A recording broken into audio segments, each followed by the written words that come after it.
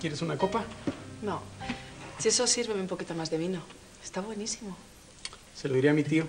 Lo hace él. ¿Es de su cooperativa? Sí. Pues me encanta.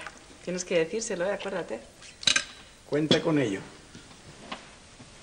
O mejor aún, podemos ir a verles un fin de semana y se lo digo personalmente. Sí, si quieres. He hablado varias veces por teléfono con tu tía y me quedé fenomenal. Pues vamos al campo un día de estos. ¿Se debe vivir también allí?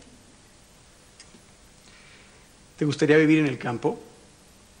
Yo creo que sí. Una vida natural y tranquilita. Perdona un momento. Primo.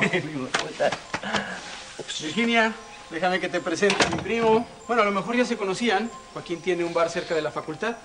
Hola, Virginia. Joaquín, mi primo. Bueno, en realidad es mucho más. Joaquín es como mi hermano.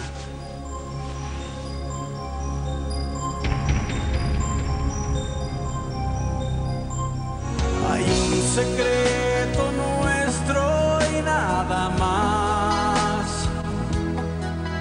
La historia de